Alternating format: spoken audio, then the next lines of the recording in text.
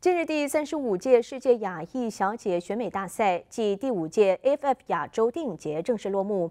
这项活动不仅彰显了亚裔的美丽与智慧，还提供了一个展现亚洲多元文化和艺术的国际平台。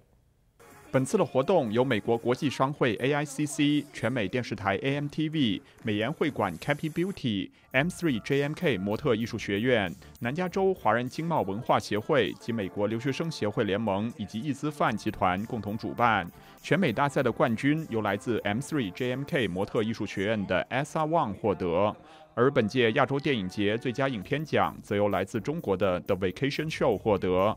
当天的活动除了选美大赛的激烈角逐和电影放映，还收录了文化展览、时装秀和慈善拍卖等多元活动，全方位展现亚洲文化的魅力与深度。We're thrilled every year to do this. It's the highlight of our year.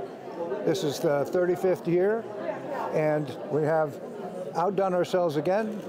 It's going to be a wonderful event. We look forward to it. 作为美国国际商会主办机构。今天非常高兴看到这么多的选手跟这么多的电影人来自呃美国各州，来自世界各国。我们在这里表示欢迎，也预祝电影节跟选美总决赛取得圆满成功。在紧张激烈的选美决赛中，来自不同背景的佳丽们展示了他们的才华、智慧与美貌。S.A. Wang 凭借其出色的表现与才华展示，在激烈的竞争中脱颖而出，夺得桂冠。而 Eleanor Palmer 和 Annie 郭分别获得亚军和季军，展现了同样的风采与坚持。我们通过这个活动呢，我们就是要让大家，还有所有的外国友人、各族人民都看到我们亚洲的文化和风采，还有我们啊亚裔小姐的美丽与智慧。通过这个活动，也看到我们亚洲的文化和传统的独特的魅力。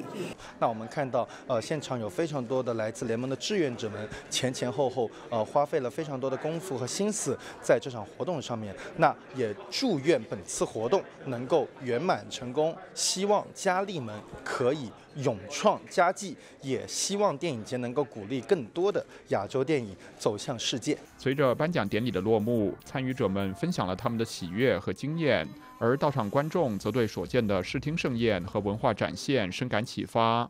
第三十五届世界亚裔小姐选美大赛与第五届 AFF 亚洲电影节的成功举办，不仅彰显了亚洲文化的丰富与多样，也为未来美中文化的合作与交流搭建了桥梁。凤凰卫视林汉琴洛杉矶报道。